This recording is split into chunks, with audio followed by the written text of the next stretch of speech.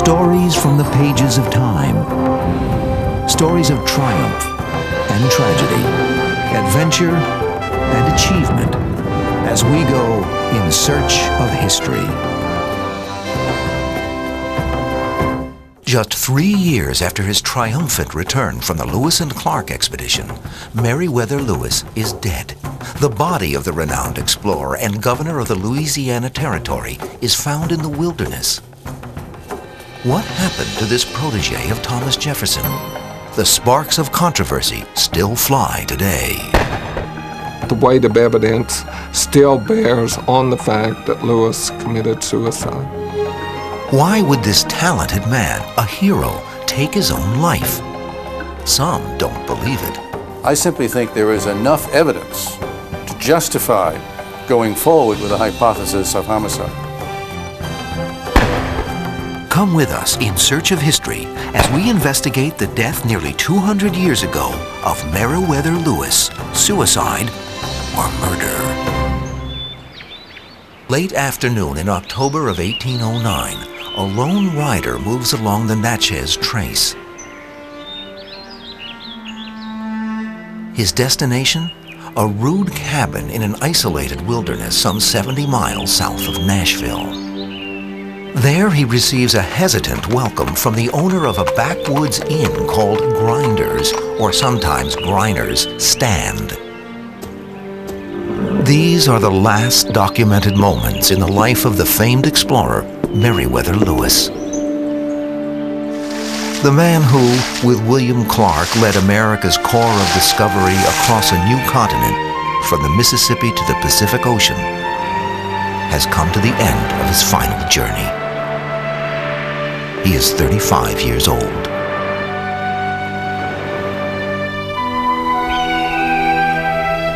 On October 28th, William Clark, who knows Meriwether Lewis better than any man alive, writes an anguished letter. Today I saw a report which gives me much concern. It says that Governor Lewis killed himself by cutting his throat with a knife. I fear this report has too much truth, though it may have no foundation. I fear that the weight of his mind hath overcome him. Clark finds only contradictory news stories based on word of mouth. Some mention knife wounds, others gunshots. Some say Lewis was alone. Others that he was traveling with a small party. Yet one rumor is consistent, that Meriwether Lewis, governor of the Louisiana Territory and one of the men responsible for opening the American West, has taken his own life. It's hard for us today to imagine just what heroes uh, Lewis and Clark were. Uh, they were wined and dined all around the country. The biggest heroes since the American Revolution. I guess the easiest way to compare this is when uh, the astronauts came back, when John Glenn landed, uh, when Charles Lindbergh landed. Uh, the sort of adulation for these men and the sort of triumph of the country. I think when people look at the death of Meriwether Lewis, uh, they want to know what drove him to this point. He had accomplished this great expedition. Everyone was lauding him and praising him. He had a great job as governor of Louisiana. What's the problem? What's gone wrong here? The few sketchy facts are quickly established. The governor left St. Louis by boat on September 4, 1809, on his way to the federal offices in Washington. A little over a week later, he is at Fort Pickering near Memphis. Captain Gilbert Russell, the commander of the fort, reports that Lewis is ill. After a two-week stay, the governor sets off again, this time traveling overland. The first leg of the journey is along an old Indian trail known as the Natchez Trace, running from Natchez on the Mississippi to Nashville on the Cumberland River. It is a distance of about 550 miles through a wilderness with few way stations. Lewis does not go alone.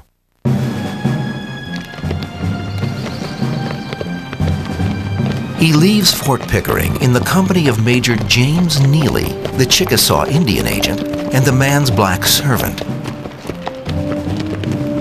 Lewis also has a servant with him, John Pernia, a man of French or Spanish extraction who has been with him for some time. Along the way, they may have been joined by several Indians from the Chickasaw Nation.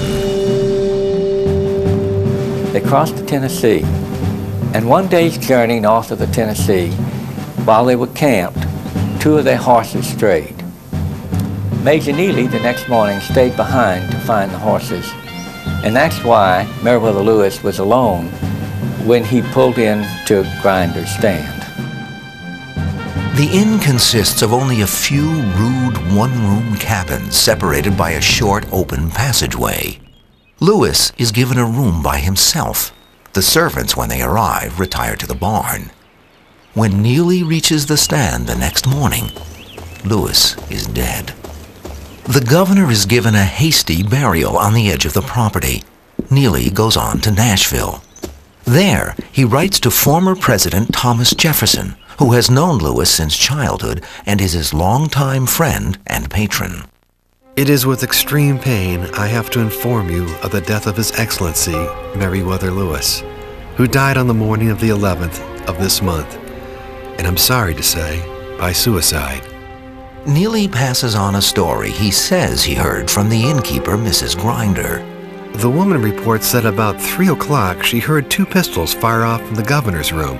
The servants, being wakened by her, came in, but too late to save him. He had shot himself in the head with one pistol and a little below the breast with the other. When his servant came in, he says, I have done the business, my good servant. Give me some water. Jefferson seems to accept the story as fact. So does William Clark, who never publicly questions the report. It is August of 1813. The body of Meriwether Lewis has been buried beside the Natchez Trace far from his homeland in Virginia for more than three years. Thomas Jefferson, now in his 70s, searches for a way to explain the violent and untimely death. Governor Lewis had from early life been subject to hypochondria afflictions. It was a constitutional disposition in all the nearer branches of the family. Jefferson had known the family for years. He followed Lewis's career in the Army and in 1801 chose the young officer to be his secretary. A year later, Lewis and a friend from his Army days, William Clark, are given the assignment that will become the adventure of a lifetime and ensure their place in history. Lewis could was very capable under these sort of circumstances when he had a clear sense of what he had to do, when he had people who were dependent upon him as a leader, and that he had to take charge and be in control of himself. And therefore, uh, the situation was perfect for his personality. And then, too, he had Clark with him, and their personalities meshed perfectly. The expedition comes to a successful conclusion in the fall of 1806. As a reward, Lewis is named governor of the territory of Upper Louisiana. Clark becomes the territory's agent of Indian affairs. Lewis and Clark are the guests of honor at the social events of the season and have their portraits painted by the leading artists of the day. But there are personal matters to attend to as well. And here, Lewis and Clark take very different paths. Clark uh, uh, went to Virginia, where his home was, and uh, he went back to a woman that he had uh, some romantic inclinations toward. And uh, he, he married Julia Clark during this period. Lewis was doing something of the same thing. He was also looking for a partner uh, for his career and his life. Lewis seemed to be unlucky in love. He seemed to uh, have relationships with women, uh, proposing to them, dating them, going to, to balls and banquets, but never seemed to uh, settle into any sort of a long lasting relationship. Lewis, in a letter, expresses his frustration. I am now the perfect widower with respect to love. I feel all that restlessness, that inquietude, that certain indescribable something to old bachelors, which I cannot avoid thinking proceeds from that void in our hearts, which might or ought to be filled, I never felt less like a hero than at this present moment. With Clark married and already at his post, Lewis continues to delay, moving restlessly from town to town. The year after his return, 1807 1808, is sort of a lost year. It's a lost year because we don't know a lot of what Lewis is doing. We know he's sort of up and down the East Coast, around the big cities. He's being feasted and celebrated because of his return. But it's also a lost year because he isn't getting back to the job he has in St. Louis as governor of Upper Louisiana. Now, there are things happening there, and there are things that are going to happen uh, with Lewis that come back to haunt him later. One looming problem is with the man acting as governor during this time, the territorial secretary, Frederick Bates. From the start, he has an uneasy relationship with Lewis. Bates uh, may have been a competitor with Lewis for the job of governor of Upper Louisiana, and therefore Lewis had to uh, be the supervisor of a person who had been the former competitor for his job. Not a good employee relation situation for Lewis and Bates. By the time Lewis finally assumes his office in March of 1808, Bates is well established. Bates and Lewis clash over policy issues almost immediately. Bates began, after a time, uh, to write letters back to administrators in Washington complaining about Lewis's activities. So he was very much uh, sort of uh, stabbing Lewis in the back. Instead of taking him up directly with Lewis, uh, he was writing to uh, Lewis's supervisors in Washington, D.C. The conflict culminates in an ugly public scene. The secretary refuses to have anything to do with the governor, except during business hours. Why Lewis couldn't have simply fired Frederick Bates. Maybe it was because Frederick Bates had too much political clout in Washington. His father had been a political figure. He himself had uh, sort of a good ends with the administration in Washington. Remember now that we're passing out of Jefferson's presidency into his successor's presidency. A new set of bureaucrats, a new set of administrators have come in people that aren't uh, perhaps as friendly to Lewis and may have some closer associations to Bates as well. The clash with Bates will cost Lewis dearly. But ironically, it will be Lewis who provides the weapon for his own destruction an invoice. Lewis was already in debt for a lot of things. The territory, Louisiana, was cash poor. So Lewis and people like him, people on the make, were doing almost all their business on credit. The federal government begins disallowing some of Lewis's expenses. One of them is a charge of $500, an enormous sum for the time, that Lewis had paid to return an Indian chief brought to Washington as part of the expedition back to his tribe. Now, this was during a period in the United States when administrators were responsible for debts that they incurred of the federal government. So he was in real financial problems with these debts that they were turning back to him. News of the rejections is leaked, perhaps by Bates, to Lewis's many creditors. Lewis is distraught and turns to his friend Clark for counsel. I have not spent such a day as yesterday for many years. I took my leave of Governor Lewis, who set out to explain some matter between him and the government. Several of his bills have been protested and his creditors all flocking in distressed him much. If his mind had been at ease, I should have parted cheerfully. This, then, was the catalyst of Lewis's last journey. Not a heroic expedition of discovery, but a desperate effort to reason with Washington bureaucrats. It is a debilitating trip. On the way, Lewis makes out his will, leaving everything to his mother.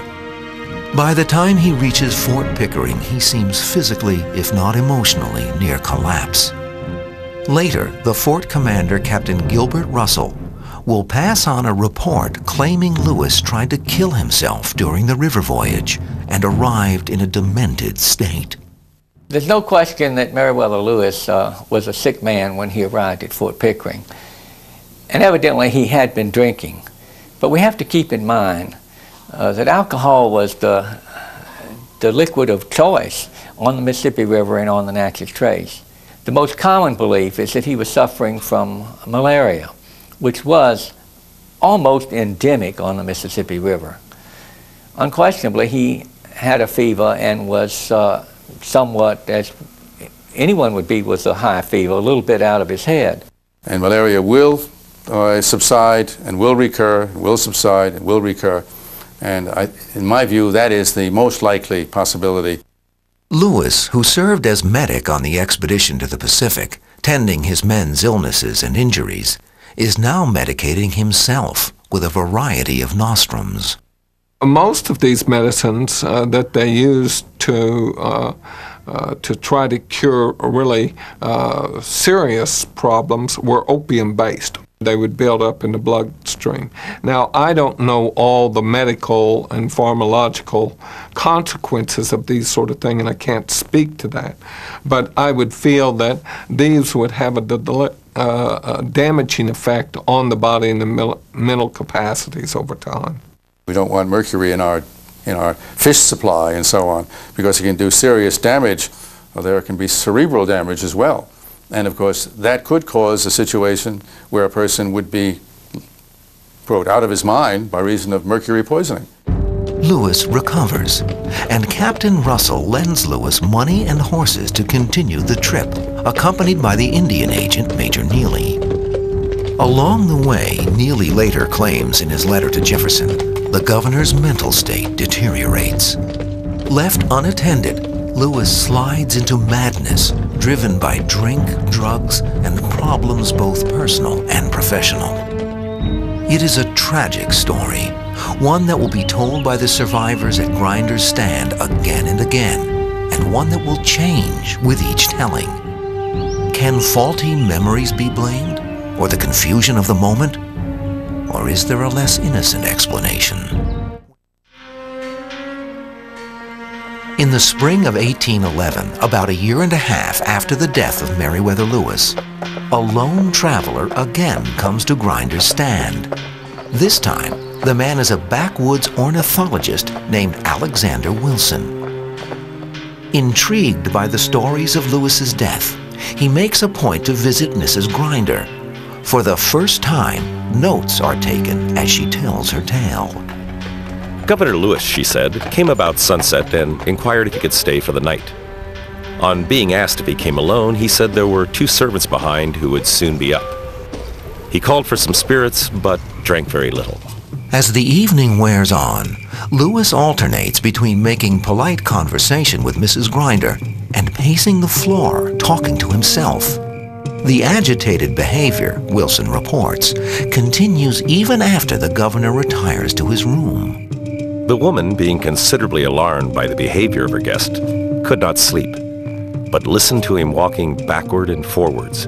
She thinks for several hours, and talking aloud like a lawyer. She describes Lewis as being disturbed and as speaking to himself and as getting red in the face. My take on this, as one who studied territorial history at great length, is that Lewis was absolutely uh, angry about what the officials in Washington were attempting to do to him. And I, I can just picture him right now practicing his remarks to those Washington bureaucrats and how he was going to argue his case. It's not difficult for me to imagine that his behavior was one of a man full of, of anger and full of frustration rather than a man who was crazy. In Wilson's account, Mrs. Grinder hears Lewis call out after the shots. She then heard the report of a pistol and the words, Oh Lord.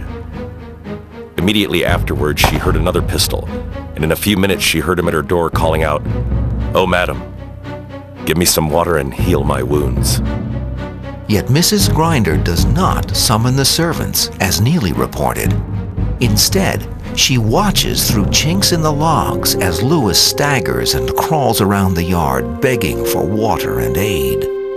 Mrs. Grinder indicated that I did not answer the knock at the door when Meriwether Lewis came to the door seeking water and my assistance for the wounds that he suffered. That tells us, one, that if he was a suicide, he had a change of mind after he shot himself, or else he wasn't a suicide. It also tells us something about Mrs. Grinder. Miss Grinder was a child of the frontier, growing up in the Carolinas and living in Tennessee. Tennessee was one of the bloodiest of all of America's frontiers in terms of the relations with Indians. She was used to violence. Uh, she was used to adversity. And her behavior, as she reports it, that is, letting Lewis lay for hours in his own blood outside of her door, this is not the behavior of a good old frontier gal. The story just does not click. Only hours later, she tells Wilson, after sunrise, does she send her children to rouse the servants. There was no witness to this crime. The servants, supposedly, the two servants, were a hundred yards away. One wonders why the servants, sleeping in an open barn, were not awakened by the report of two pistol shots. These were rather large pistols, somewhere in the neighborhood of 45 caliber or greater. They would have made a lot of noise. Lewis is found in his room, mortally injured, his brains exposed by the head wound, but alert. Although Wilson's account is far more detailed than Neely's, there is one statement in the first that is missing from the second, the admission by Lewis that he has shot himself. He begged they would take his rifle and blow out his brains. He said, I am no coward, but I am so strong. It's so hard to die. He expired in about two hours. Some of the things that he is supposed to have done are just not scientifically, pathologically conceivable. And then indeed after two shots to areas that are very vascular, filled with blood, there would be extravasation of blood all over the place from him, that he nevertheless could manipulate, could, uh, could perambulate around the site asking for water. This just doesn't stack up to a suicide situation. Those who believe he may have been murdered take issue with Lewis's supposed motives for suicide. True, he wanted a wife and had not found one. But how many millions of human beings have found themselves in that same predicament? He liked the girls. And, and frankly, what he was doing in Philadelphia was having a big time. He was on a dalliance, not a delay.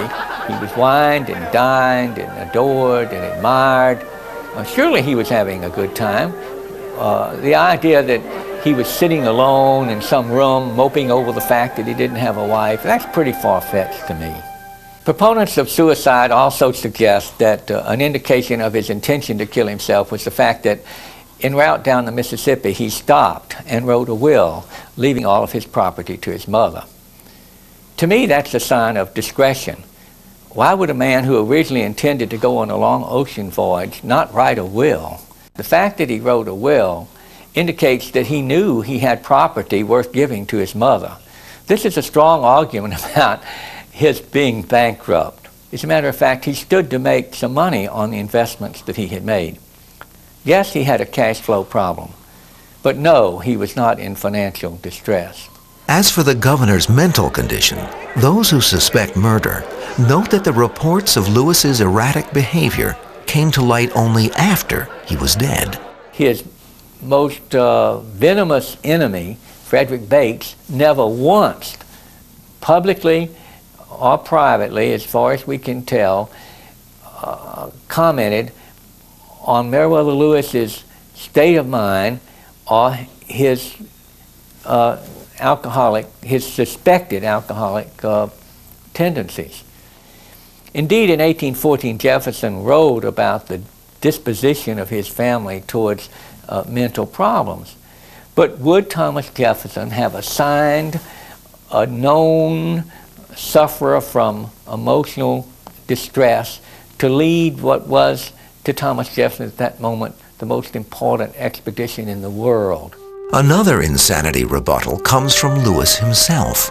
In the rational letters written from Fort Pickering, where Russell claimed he seemed deranged. I am proceeding by land through the state to Tennessee and to the city of Washington. I bring with me duplicates of my vouchers for public expenditures, which, when fully explained, I flatter myself will receive both sanction and approbation.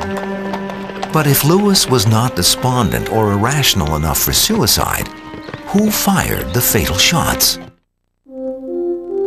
Although Thomas Jefferson mourns his friend Meriwether Lewis as a suicide, not everyone accepts the verdict.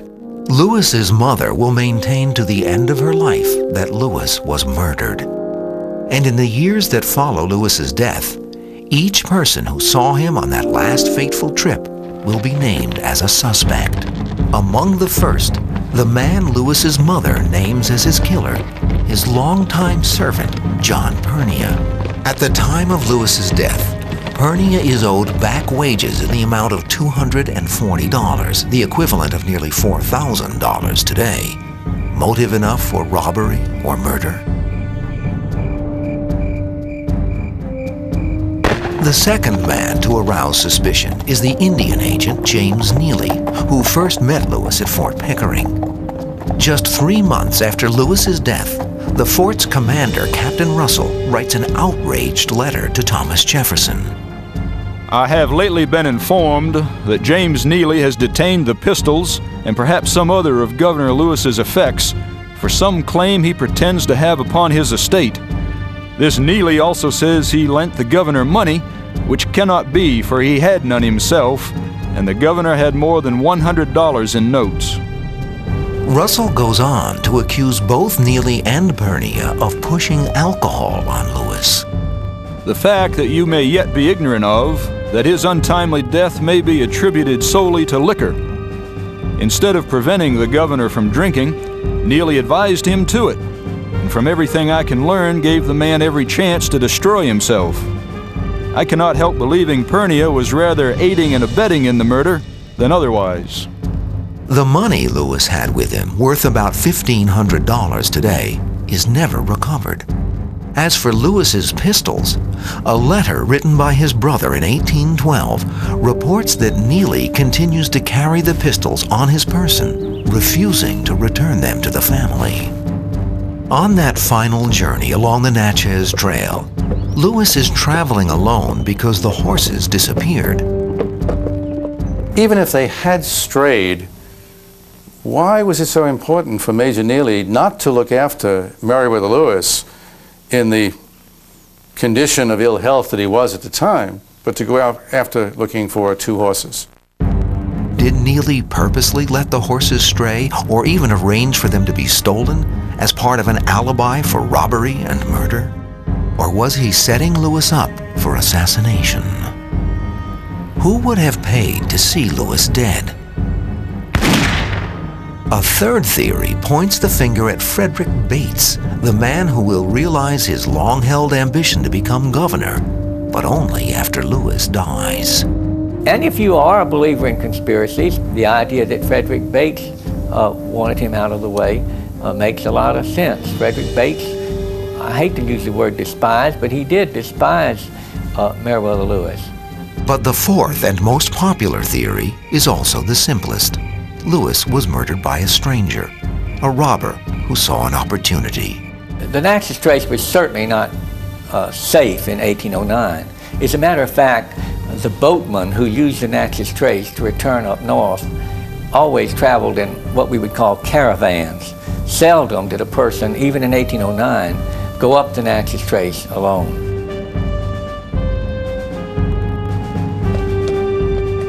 Word of the presence of a man as important as Lewis would have spread up and down the trail. Travel in those days was expensive as it is now. He had money with him. Virtually all travelers had money with them. Being an extremely famous pers person, traveling in style, it would be a stupid robber who wouldn't pick him out as a target. But Lewis was also a crack shot and no easy mark. After all, much of the time that he was on the trail, he was in the company of, a, of an army officer uh, and two servants. He himself was well armed. He had a pair of pistols. He had a rifle. He had a tomahawk. he had a dagger. The logical time uh, to attack a person is when they're asleep. Because Grinder's stand was so isolated and was really one of the last stands before you get to Nashville, it would have certainly been a, a, wonderful opportunity, maybe the last opportunity that a robber would have to catch him in such a vulnerable place. To those who subscribe to this theory, the grinders are innocent bystanders. They may know the local bandits and the potential for reprisal only too well. She didn't open that door to help her house guest overnight, a man of the stature of Meriwether Lewis. Why? Because she was frightened? Because there was a robber lurking out there that might kill her, as well as Meriwether Lewis? In addition to historical conjecture, there is also an oral tradition, Tennessee folklore passed down through the generations. In these, Mrs. Grinder and her husband are suspects. There are several versions of how that might have been. After all, according to her account, her husband was away at another farm, and she was alone. And some people suggest that perhaps uh, she was having a dalliance with, uh, with Meriwether Lewis, and the husband uh, returned uh, and, and in a moment of anger uh, shot, his, shot uh, Meriwether Lewis. There are other people who suggest that Mrs. Grinder shot Meriwether Lewis because he was coming on too strong towards her. So the, the oral tradition has many versions of what happened. Another story steeped in local tradition maintains that Lewis did not die in a cabin at Grinder's stand, but was shot outside. Locals found evidence of a rifle patch and wadding near the Grinder barn, as if someone fired from that location. Adding credence to the story is a report by the local mail carrier who swears he finds Lewis's body out on the trail itself. Is Mrs. Grinder's second version of events in which a wounded Lewis is crawling outside in the yard designed to match these reports? Ms. Grinder gave several different versions of her account. We can only use our imagination as to why she did this. Obviously, here's a woman uh, with uh, the most famous American of, of the day dead on her premises. I'm sure she was frightened and sad and needed some explanation, and she did the best she could uh, in, in telling this story. And how did those present at the isolated cabin really deal with Lewis's repeated demands for medical attention? In Mrs. Grinder's second account, committed to writing by Alexander Wilson during his visit to Grinder's stand, Lewis is quoted as begging his servants to take a rifle and blow his brains out. Did someone oblige him? Or invent Lewis's plea to justify that second deadly shot? No one can say. Major Neely came up the next day. We really have no eyewitness account. It's all hearsay. And this is why we have so many different versions of what happened to Meriwether Lewis testimony changes over time and uh, in circumstances. People remember things differently. Uh, people uh, recall additional details as they go along. Modern testimony, we've seen time and again, is just as confused and just as different uh, as it happens over time. Well, it all solves so neatly on TV programs, but it doesn't always solve that neatly in real life. Perhaps none of the people at Grinder's stand that October morning knew for certain who fired the shots. But they must have realized that a charge of murder would focus suspicion on them all. Suicide, especially given the governor's recent behavior, may seem the most logical and prudent explanation. After all, there is no way of proving otherwise. Or is there? It is December of 1848. Nearly 40 years after the death of Meriwether Lewis, a long overdue monument is built by the Tennessee legislature. Its shape, a broken column, symbol of a life cut short. Before the monument can go up, The location of Lewis's body, buried in haste so long ago, must be confirmed. The grave is opened and the identification is made. During the process, one witness makes an intriguing report. The impression has long prevailed that under the influence of disease of body and mind, Governor Lewis perished by his own hand. It seems more probable that he died by the hands of an assassin. What prompts that statement? Hearsay? Popular opinion? Or some evidence still visible on the remains? It's a question many would like to explore. I came to the conclusion a long time ago that the only way we would end this argument would be to have a forensic examination of the remains of Meriwether Lewis. Could modern criminal investigative techniques answer the question once and for all? What evidence could be left after nearly 200 years? The black powder in use in those days was not only putrid to the smell, but it also left, left a great deal of residue behind it. And we would expect to find, even 200 years later, such residue on the bone or even without the bone. Gunpowder around the injuries, indicating the shots were contact wounds, could confirm the finding of suicide. The presence of gunpowder elsewhere could point to murder. It could be that Meriwether Lewis fought off his attacker. If he did, we would look very carefully on the arms, uh, especially on the arms, for what we call defense wounds. We would expect that he would be throwing his arms up in some way to protect himself. If we find gunshot residue across his arms, something is demonstrably wrong about the claim of suicide. The location of the entrance wounds could be equally revealing. If we find bullets from his back going from the posterior, as we say, to the anterior, that clearly is not a suicidal wound. There's no way in which he could manipulate this cannon of a handgun and turn it around and try to shoot himself in the back, or indeed, without great difficulty, shooting himself in the back of the head. Why not just simply put it back to the head and shoot yourself in the head the second time if you're going to kill yourself? But there are those who are fiercely opposed to any such investigation. They also feel very strongly that his remains should not be exhumed. Now, in a sense, this might seem anti intellectual. You're saying, well, don't you want the truth? Someone would ask, don't I want to know absolutely what happened? Well, sure, I'd like to know absolutely what happened, but I do not believe that bringing his remains to surface would answer those questions. The people who are convinced one way or another, especially those who believe in the murder theory, would not be convinced no matter what the evidence was. Conspiracy theories really never die.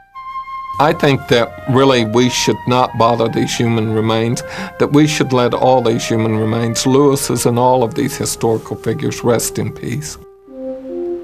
Without physical evidence, the debate over the death of Meriwether Lewis is certain to continue. His descendants want to see the speculation end. My father discussed how Meriwether Lewis was a great explorer, and uh, we were all very proud to be one of uh, some of his descendants. And I, curious as I was at a young age, wanted to know when he died and how he died. And my father said, Well, that's really a mystery. We really don't know the answer to that question. Some people say that he committed suicide, but we as a family really don't know. Lewis has been characterized as perhaps a drug abuser, alcoholic, it's even been said that he suffered from venereal disease. We would like, as a family, to determine if any of these things are true before it's documented in history. We shouldn't think that because a man could, committed suicide at one point, that it sort of darkens the whole story of his life, that somehow he's less worthy. I think we have to accept that uh, even a man as brave and competent and accomplished as Lewis was one point in, in his life, at another point in his life, he can just be driven to the depths of despair and do this act upon himself. And today we don't uh, place the same type of stigma on suicide. In the early 19th century, suicide was considered a very cowardly act. It was considered a disgraceful act. Meriwether Lewis is one of the most important figures in the history of the United States in terms of our expansion to the Pacific, in terms of the fulfillment of our manifest destiny. I think we owe it to Meriwether Lewis as a person to resolve this mystery. I think we owe it to his descendants, and I think we owe it to the honesty of American history. We're willing to accept whatever forensic science may determine as regards to his death. In addition, we would like for Lewis to be afforded a Christian burial, as he did not enjoy that benefit upon his death. But for now, Meriwether Lewis, explorer and scholar, adventurer and governor, rests below a monument that recalls not the circumstances of his death, but the nature of his life, expressed in the words of Thomas Jefferson. His courage was undaunted. His firmness and perseverance yielded to nothing but impossibilities. A rigid disciplinarian, yet tender as a father. Honest, liberal, with a sound understanding and a scrupulous fidelity to truth. And inscribed on the west side of the monument, the few truths that can be ascertained with any certainty. Meriwether Lewis, born near Charlottesville, Virginia, August 18, 1774. Died October 11, 1807, aged 35 years. The rest remains like so much of Lewis's life, uncharted territory, navigable only by those in search of truth and in search of history.